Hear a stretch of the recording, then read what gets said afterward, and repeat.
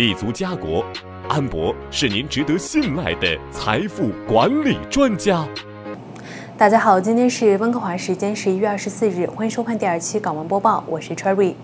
据加通社报道，特鲁多的自由党政府于周三下午提出了一项新的援助法案，旨在为 COVID-19 大流行中尚未恢复的企业提供有针对性的财政支持，以及向公共卫生命令下的失业工人发放收入补助。这份法案列在下议院的最新议程上，是政府希望下议院在十二月中旬放冬假之前通过的四项立法之一。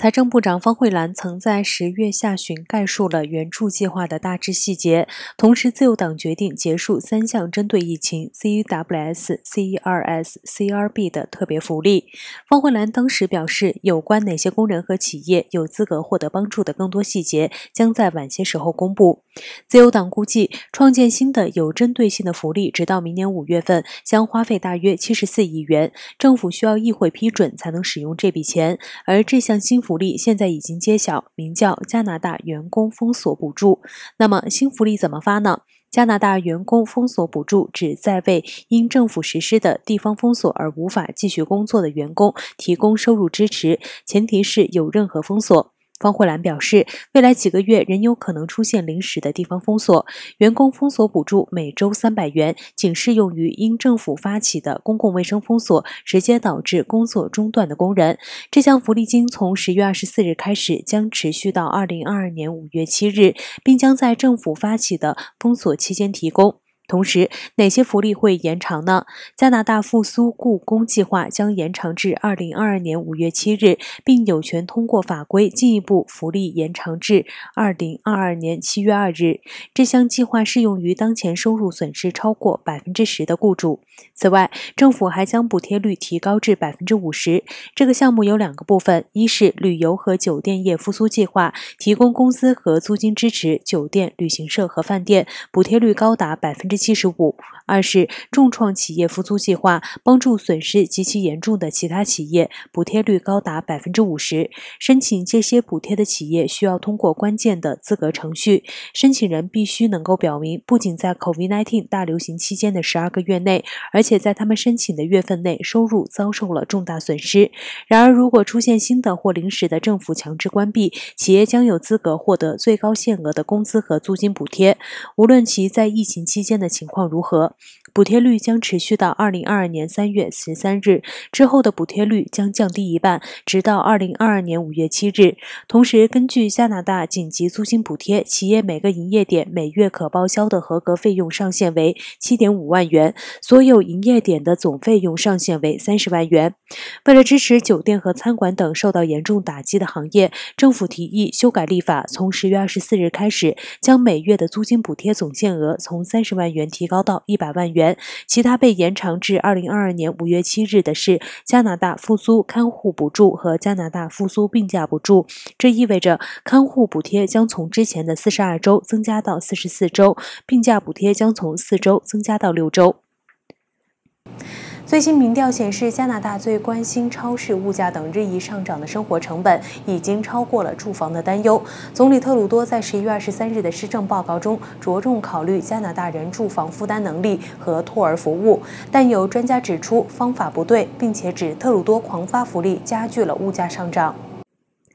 伊普索最近的一项民调显示，超市食品和汽油等必需品的生活成本是加拿大人最关心的问题，已经超过了住房问题。周日公布的这项民意调查发现，现在人们最担忧的是超市食品和汽油等必需品的价格上涨，已经超过了大流行。医疗保健和住房等问题成为加拿大人最关心的问题。作为加拿大人认为政府应该优先考虑的关键问题，负担能力和生活成本位居榜首。百分之三十三的人将这个问题列为他们的的。首要问题，紧随该榜首的是对大流行的担忧。百分之二十七的人认为这应该是优先事项。第三是医疗保健，占百分之二十五。第四，踩到住房，占百分之二十四。第五是经济，占百分之二十三。然而，当谈到解决这些热点问题时，卡尔顿大学斯普罗特商学院副教授伊恩里认为，特鲁多周二的施政报告未能奏效。我不相信他们在计划中提出的方案能够解决问题。至于负担得起的托儿服务，李说这将帮助一些加拿大人，但它不会解决不断上升的生活成本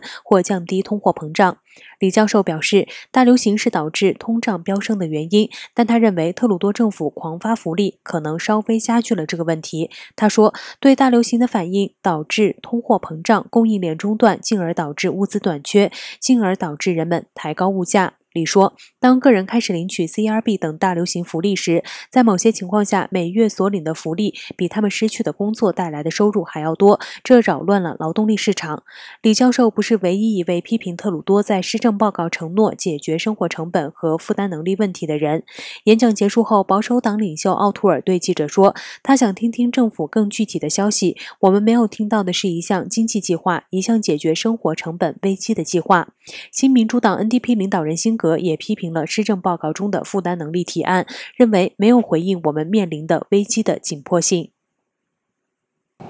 疫情大流行爆发之后，加拿大将基准利率设置为百分之零点二五，达到历史最低水位，这使得贷款利率也随之下降到前所未有的历史新低。房地产市场空前火热，很多分显示都将这波房市热潮归功于低利率。面对即将上涨的利率，加拿大人更是疯狂地涌入房地产市场，忙于锁定贷款利率，获得贷款预批，希望能够搭上这趟房市热潮的末班车。害怕错过的心理越。越发严重。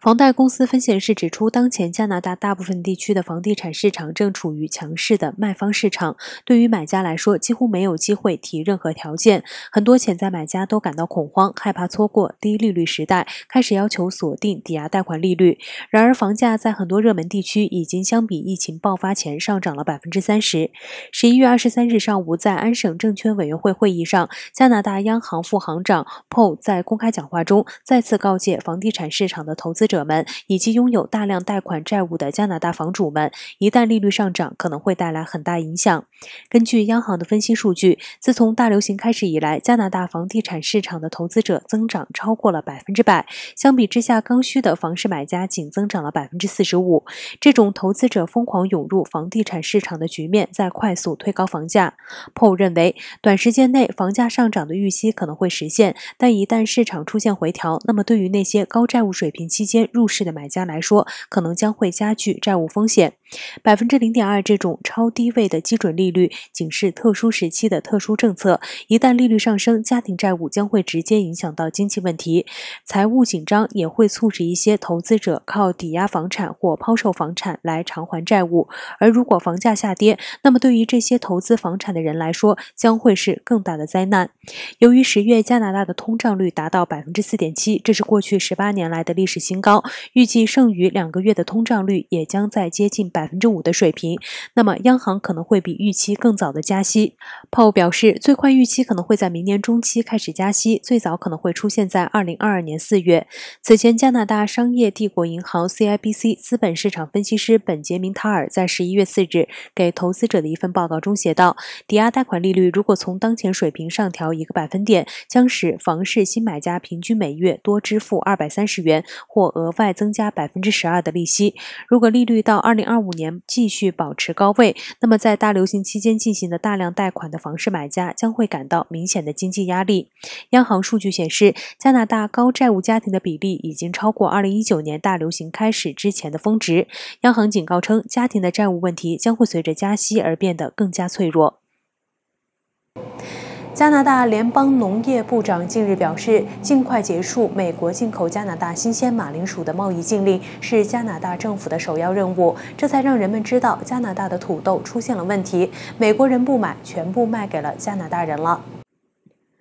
据报道，加拿大食品检验局于周一下令暂停贸易。此前十月份，在 PEI 的两个田地发现了感染马铃薯油的马铃薯。加拿大食品检验局在一份声明中写道：“美国通知加拿大，除非加拿大立即采取自愿行动，否则他们将实施一项联邦命令，禁止从 PEI 进口所有新鲜的马铃薯，时间不确定。”据悉，马铃薯油是一种会降低作物产量的真菌，但食品检验局表示，马铃薯油不会对人类健康产生威胁。农业部长告诉记者，他了解土豆对 PEI 经济的重要性。如果土豆卖不出去，很多居民将会一分钱收入没有。农业部长表示，正在与团队一起努力工作，尽快解决这个问题。部长说：“我相信我们会让美国人相信我们的新鲜马铃薯是安全的，他们不会对他们的土壤和土地构成风险，他们也非常需要我们非常优质的马铃薯。”部长说，加拿大食品检验局实施暂停是为了防止美国方面的禁令。如果从加拿大一侧停止贸易，他认为贸易将恢复得更快。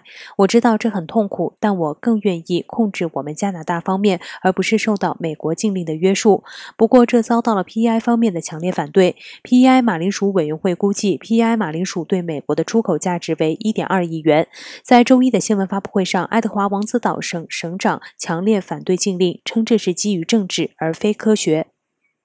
好了，以上是本期港湾播报的全部内容，感谢大家的收看，我是 Cherry。如果您喜欢我们的节目，欢迎您点赞和转发我们的视频，我们下期节目再会。